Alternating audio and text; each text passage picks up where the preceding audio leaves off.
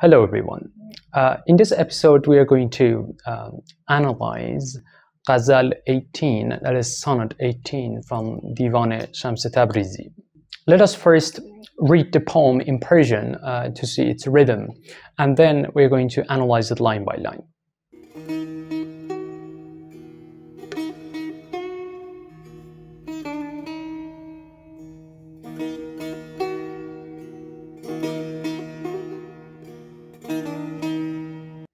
ای یوسف خوشنام ما خوش می روی بر بام ما. انا فتحنا السلا بازا ز بام از در درا ای بحر پرمرجان من والله سبک شد جان من. این جان سرگردان من از گردش این آسیا. ای ساربان با قافله مگذر مرو زین مرحله. اشتر بخوابان هین هله.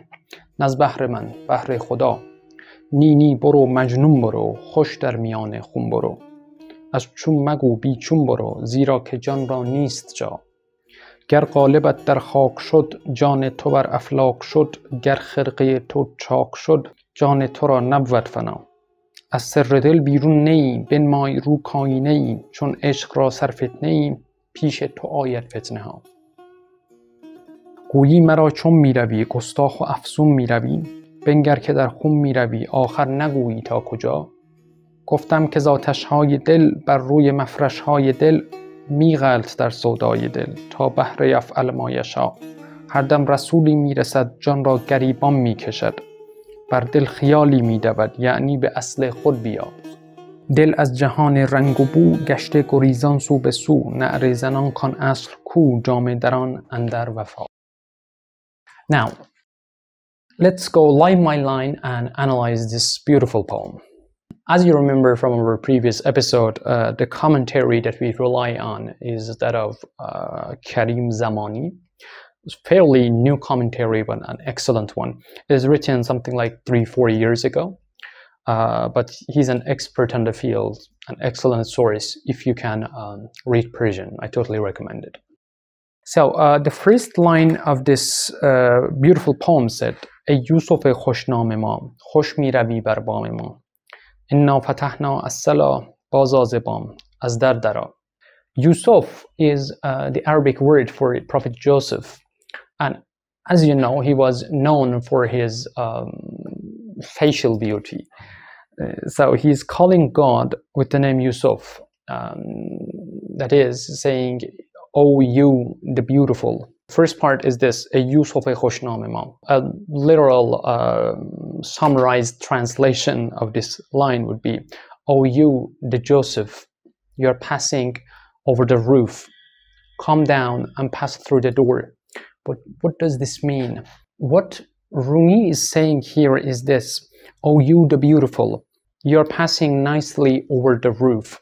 Here, by the roof, the commentator says that he is uh, referring to the absolute essence, which is absolutely transcendent over all categories, over everything. So unless God remains in, in that transcendental position, we're not going to be able to know him. So he is kind of begging God to manifest himself through his names, through his qualities, so that we can use our faculties, our senses to be able to perceive you. Here he's using two Arabic words, um, which refers to a Quranic verse. So the words are inna fatahna, which refers to the Quranic verse inna fatahna laka fathan mubina. That is, indeed we granted you. I'm just giving you a rough translation. Uh, indeed, we granted you a manifest victory. So uh, commentators, Quranic commentators, um, have been disputing about what this line refers to. Mostly, they say it refers to the prophetic wars.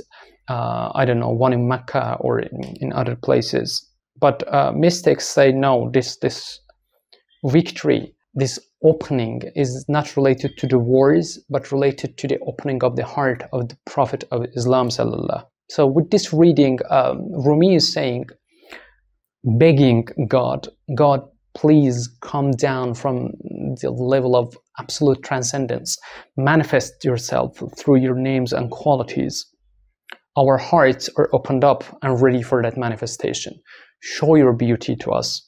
We cannot perceive your beauty in your transcendental essence. Let's see what the other lines are saying. ای بحر پرمرجان من والله سبک شد جان من این جان سرگردان من از گردش این آسیا like I said, I'm not translating these lines word for word. We're going meaning based, and mm, I'm, I'm just dealing with the philosophical aspects of these poems. I'm not getting into literature accurate translations. He is again referring to God, calling upon God, uh, saying, You are a sea full of pearls. My heart is light light opposite of heavy light این جان سرگردان من از گردش این آسیا that is this heart is light now this wanderer heart he says in the next part um, from the happenings in this world Rumi, as we said uh, in Persian, they call him Maulana. In Turkish, they refer to him as Mevlana, What the accurate accurate pronunciation is Maulana.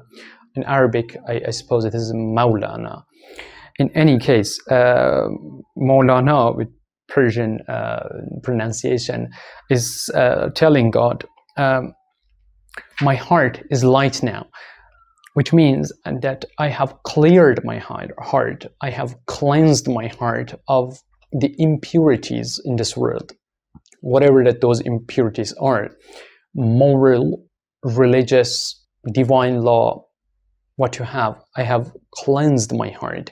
It is ready for your manifestations, for that divine light to open up in my heart And this has happened, he says, um, this, this, this preparedness has happened uh, through all the ups and downs that has happened to me in my life in this world. In the next line we have, ای ساربان با قافله مگذر مروزی مرحله اشتر بخوابان هین هله نز بهر من بهر خدا so in Persian, the leader of a group of camels is called Sarban, that is a person who leads them. Sarban basically is uh, kind of the epitome of uh, leadership in Persian poetic language. That's why he's using this word. So he says, "A Sarban, or you the leader, um, don't pass through this level, don't pass through this stage with this group. Hold your camels, if you will, if you will, is not in the poem. Uh, not because of me, but because of God. So in this line, we had uh, don't pass through this stage. What is this stage? Uh, this stage, this world. He's referring to this stage of human perfection. So in Islamic metaphysics, a human is on a journey towards God. This world is just one stage. So he's saying in this world, slow it down a little bit. Uh, oh, you, the leader of all the happenings in the world, the chain of the happenings in the world. Don't pass through this level, don't pass through this stage. So uh, Rumi is complaining of uh, the speed of the change of all the happenings happening in this world. So he's asking the world to slow it down a little bit. But in the next line, he's gonna uh, take it back. He's going, um, he's saying the opposite of what he just said. He's basically playing on words. He's saying, نی نی برو مجنون برو خوش در میان خون برو از چون مگو بی چون برو زیرا که جان را نیست جا No, no, go wildly, go through the blood, but don't ask why and how, because uh, the soul is not in his pace. Um, so in the previous line, he said uh, to the world, stay still, you're moving too fast. Then he tells himself, well, stillness is destruction, so there should be motion to reach the beloved, to reach the destination. And um, just remembering this, he gets excited. He says, uh, No, no, don't stay still. Go and go wildly, move wildly. Uh, go through the blood. And by go through the blood, he is uh, basically referring to the difficulties, the challenges of, on, on this path. And, but uh, he says, don't ask so much about the how and why of this path. The soul is incorporeal and spaceless. And as he's opening this up for the next line where he says گر قالبت در خاک شد جان تو بر افلاک شد گر خرقه تو چاک شد جان تو را نبود فنا he says don't worry if you die don't worry if you're the, the, the dirt mold which is in reference to Quran where God says we have created you from dirt So where the dirt mold, if it breaks, uh, your soul has no end. It doesn't cease to exist. So let go of your body. If the death comes, don't worry about it. It will continue to exist. از سر دل بیرون نی بنمای رو کاینه ای چون عشق را سر فتنه ای پیش تو آید فتنه ها This is a very interesting line. Here Maulana Rumi turns to God, turns to his beloved and says, You are not a stranger to the secret of my heart. You are, just show me your face. You are a mirror. Uh, what he's saying is, uh, My reality is a mystery. It's a mysterious reality and you are a mirror on which I will be contemplating my reality. So show me your face Be that mirror on which I watch myself. I watch my uh, my reality, and you are the source from which uh, all the loves come from and all the riots come from. Next we have گویی مرا چون میروی گستاخ و افسون میروی بنگر که در خون میروی آخر نگویی تا کجا so here he's creating a dialogue in which God is uh, referencing uh, Rumi, saying, "Guyi mara, you're telling me, chom miravi, how are you going? Kostacho afsum miravi, that is, you're going so recklessly in this path.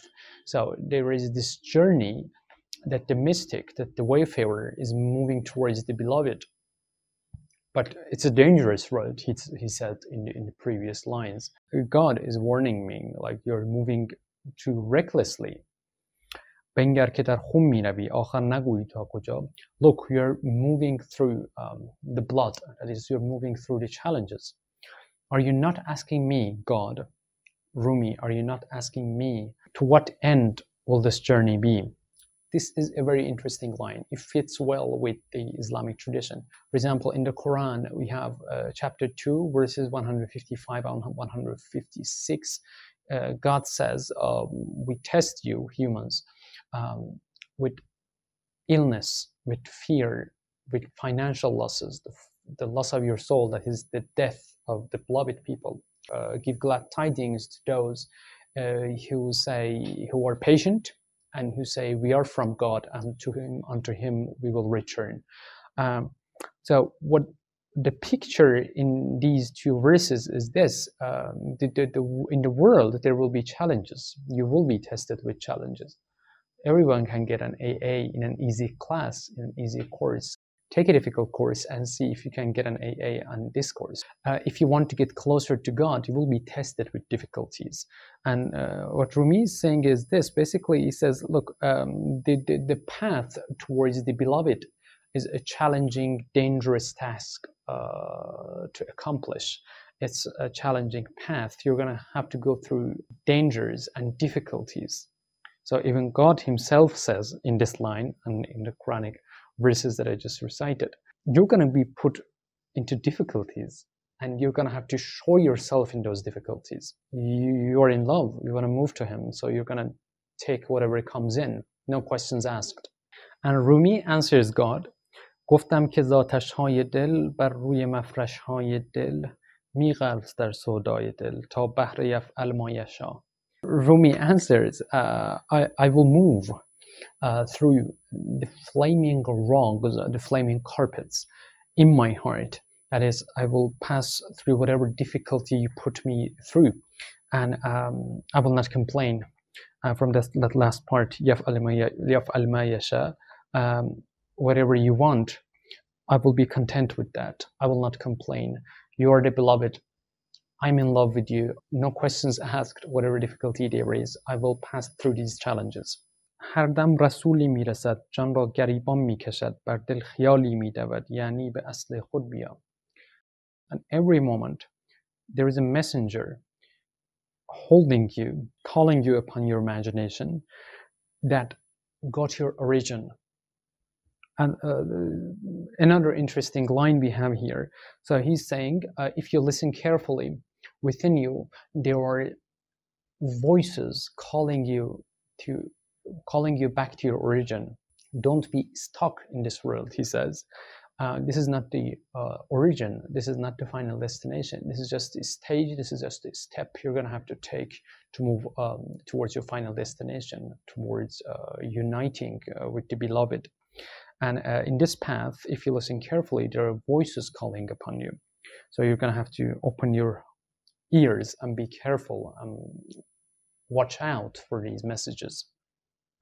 Next, we have دل از جهان رنگ و بو گشته گریزان سو به سو نعره زنان کان اصل کو جام دران اندر وفا دل در جهان رنگ و بو that is the heart in the world of color and smell that is in the world of sensation the heart is just going from one place to another wildly and, and, and screamingly he says um, where is my origin? He so the, the heart, your soul moves around asking for his origin, asking for her origin.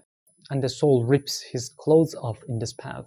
That is, uh, the soul moves uh, wildly. When you hear the voices within you calling upon you to find your origin, to go back to your origin, if you hear those voices, um, and if you realize that the world, this sensual world, is not your final destination, an excitement will come to you and you will move wildly through all the dangers, through all the difficulties towards the beloved, towards towards the source of that voice. So I hope you enjoyed this episode. This was one of my favorite uh, poems in Divan Shams Tabrizi. If you liked the video, please uh, like and share to help the channel. Uh, I'm looking forward to being with you in the next episode. Be well. See you soon.